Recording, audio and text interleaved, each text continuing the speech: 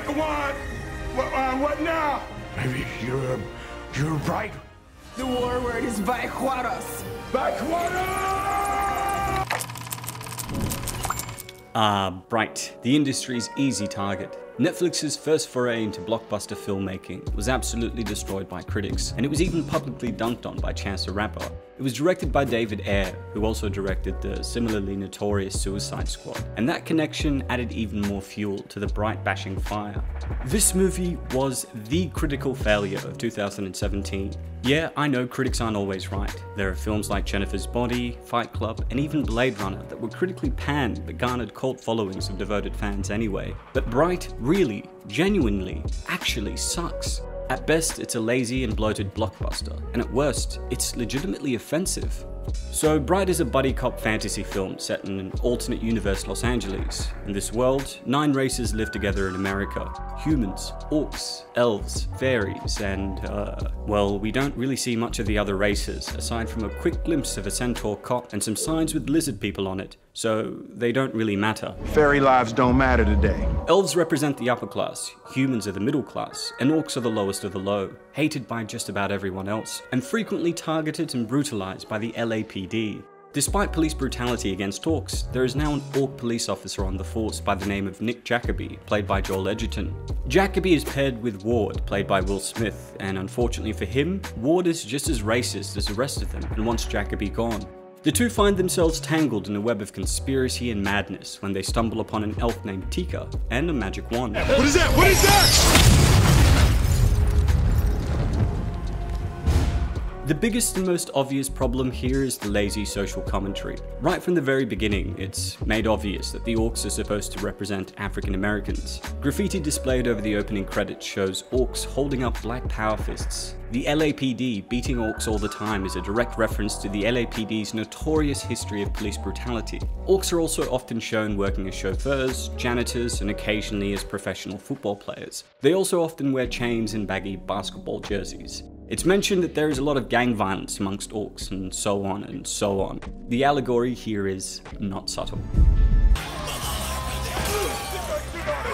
Sometimes Bright gets really frustratingly close to making a genuinely interesting parallel. For example, other officers on the LAPD constantly call Jacoby a diversity hire and call him orc slurs, and other orcs hate Jacoby for being part of the system that oppresses them. It's an obvious parallel for how the black community distrusts the police, leading some to view black police officers as traitors. And then, of course, those black police officers are also victims of racial profiling and harassment by their own co-workers. It's a multifaceted, multi-layered social issue, and Bright explores that by um, having officers put kick me signs on Jacoby's back. It feels like the writer, Max Landis, did a quick Google search about racism within the police department, and then had the LAPD characters he wrote simply repeat variations of the three things he learnt. He's a diversity hire, get him out of here, he's dangerous. Hey, it's been 15 minutes. Have we mentioned that we think this guy is a diversity hire and that he needs to leave? And so on. It's very shallow and very repetitive. Actually, if you think about the orcs are stand-ins for African Americans concept for too long, you realize that it's so poorly conceived it practically circles back to being regular old racism. Now, fantasy racial allegories aren't inherently wrong or bad. Take a look at franchises like the X-Men or the Planet of the Apes that pull these themes off successfully. They work largely because the mutants and the apes in each respective franchise have nuance, the audience is presented with stereotypes about the oppressed groups, and then it's shown that they're just as human as anyone else despite their differences. However, when it comes to Bright, the stereotype here is that orcs are violent and dim-witted, which isn't really disproven at any point. The only orcs you see besides Jacoby are shown as being violent, stupid, or just general assholes. In the film's universe, the orcs are apparently genetically predisposed to violence. They become blooded to be considered a true orc, and they all have blood clan ties that they follow, which leads to gang violence. Even the Fogteeth gang, which are run by orcs who promote racial unity, are still shown violently beating Jacoby and Tikka. Fairy lives don't matter today. I don't really think the film intended to be racist or suggest that people of colour are dumb and violent. Mind you, I think the movie has good intentions, but the messy execution totally shoots those good intentions in the foot. On the flip side, elves are the upper class, and even though there are evil groups of elves called the Inferni, they're given significantly more power in America than other races. Elves are more likely to be bright, which means that they're able to wield powerful magic wands that can grant them any wish. If someone who isn't a bright touches a wand, they get vaporized and turned to dust on the spot. The only thing that feels adequately explained is the concept of brights and wands. People are so consumed by the desire to have their wishes granted, that they're willing to risk being poofed into fairy dust. This is a really interesting opportunity to explore disparity in America, right? Social mobilization is so difficult that people risk their lives just in case they're one of the lucky few non-elf brights. Unfortunately, the movie doesn't explore this further, because of course it doesn't. No, instead we get to hear about how one of the corrupt cops wants to steal a magic wand to wish his dick bigger, or quote, marry the girl who didn't blow him at the prom. There are so many missed opportunities here, but instead we get things like Will Smith yelling incoherent lines like, Fairy lives don't matter today. Human racism doesn't seem to come up aside from an offhanded remark from one Officer Rodriguez who says he still gets shit about the Alamo because he's Mexican. So, does that mean that racism is still around among humans, or what? A black character says the N word at one point, so does that mean that some horrific anti black things happened in the past? Maybe. I don't know, but neither do the filmmakers, and that's the problem. There are countless other issues with the world building too. There is more world building in a 2 minute YouTube video published by Netflix titled Bright, The History of Magic than there is in the entire movie. I'm not a fan of huge amounts of exposition at the start of a film, but I'll gladly welcome it if it's gonna help add cohesion to the script. The movie throws away too much information at the viewer at once, resulting in an incoherent, muddled mess. There's some sporadic talk about a war that happened 2000 years ago in the film, and the results of this war are why the orcs are so demeaned in society. As Jacoby puts it, orcs were on the wrong side in the war against the Dark Lord. But who is the Dark Lord? Well, that's never really explained, but apparently he was an evil elf. Meanwhile, an orc named Jirak personally defeated the Dark Lord with his army, the Shield of Light. So, elves are powerful and orcs are hated because orcs saved the world from the elves? Orcs save the day, but elves are the ones we're cool with, even though there are elves like Inferni who are actively trying to resurrect the Dark Lord. What's going on here? This should have been spotted in the first draft of the script.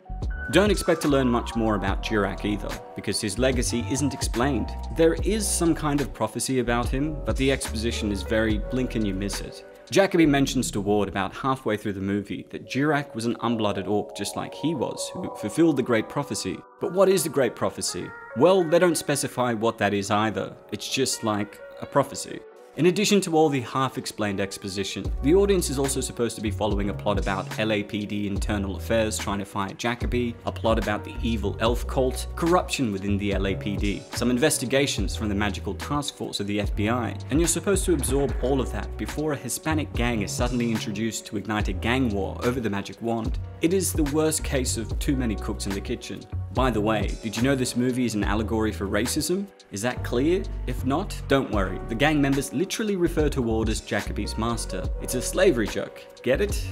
Aesthetically, the movie is, in my opinion, really bad. Take the graffiti at the very beginning of the movie. Tags that say curse the police are eye roll inducing in their complete lack of subtlety, not to mention they look straight up ugly. There are some downright bizarre musical choices too. When Ward shoots down his corrupt officers, the movie suddenly shifts into a slow-mo shootout scored by Bastille. The diegetic sound goes silent in favor of the music, and the lyrics that ring out while the shots are being fired are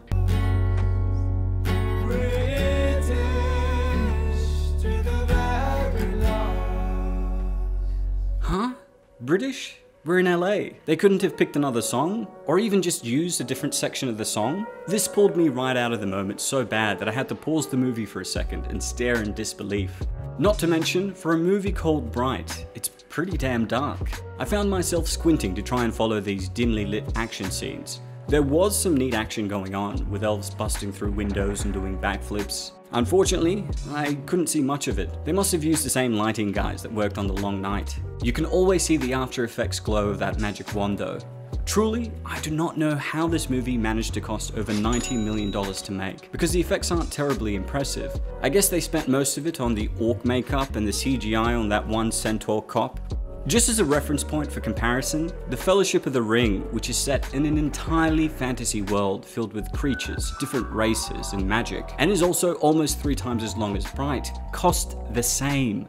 The acting is fine, it's perfectly serviceable, but there's nothing to write home about. Will Smith is doing his best with what he has, and he throws in some amusing ad libs like, Let's do it right now. We're gonna titty bar gunfight die. At least things like that gave me a legitimate chuckle or two. Joel Edgerton actually makes Jacoby seem quite charming, but his performance can't give Jacoby the emotional depth he needs to make any of this land. As for Tikka, I don't know what the hell Lucy Fry is doing over there. To be fair, her performance probably isn't her fault, since Bright barely fleshes out her character. She's left to twitch and yell the same elvish warning calls about intruders coming to steal the wand in between Ward and Jacoby's contrived conversations about racism. Tikka's only personality traits are magic and crazy. Tell me about it. Hey, follow me. Let's go. The main trio of characters leave a lot to be desired in general. Ward is just blatantly racist, so it's hard to root for him. Corrupt officers constantly threaten to attack his family, which is why he goes along with their plans for a while. I guess we're supposed to like him for being a family man, but realistically, his motivations are still very selfish. Plus, we barely get to know his family, so why should we care if he cares about them? As I mentioned before, Tikka is severely underdeveloped and on top of that has no chemistry with Ward or Jacoby. Whenever she appears, it almost feels like she's in a completely different scene entirely. Jacoby is the only character really worth caring about, but considering the fact that he wants to remain a cop despite the systemic abuse of other orcs really puts a damper on his likability. At one point, the dude talks about how much he wants to stay a cop, while human LAPD officers are literally beating the shit out of an orc in the street next to him. Honestly, it feels like Netflix designed this film to be watched while sitting on the couch and only half paying attention. That way you can just blame the lack of coherency on your game of Candy Crush, read some articles that explain the plot better than the actual film does, and walk away convinced that Bright had something good going on after all. I mean, despite all the flack it's received, Bright is still greenlit for a sequel, and its Nielsen ratings are through the roof. 11 million Americans streamed it within the first three days of release. So who knows, maybe me and the critics are the ones who are wrong. I'll leave this off on an optimistic note. There are a lot of interesting things that are still left to be explored in Bright's world, and since Landis got canned as a writer after multiple sexual abuse allegations, and Ayer was replaced with Now You See Me director Louis Leterrier, it's possible a team that's competent could elevate the story. Bright 2 could be a damn masterpiece, tying up all those loose ends perfectly. Or maybe it'll be just as bad, and we'll end up with a movie where centaurs represent Asian Americans or something. Who knows? I just hope they get Joe Rogan to make a cameo again that's now in the LAPD force. How does that work? He's not blooded.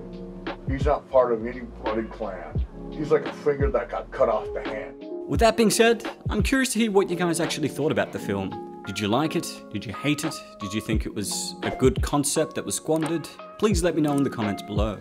As always, it's been a pleasure. Niyat here with Film Comics Explained. Thanks for stopping by.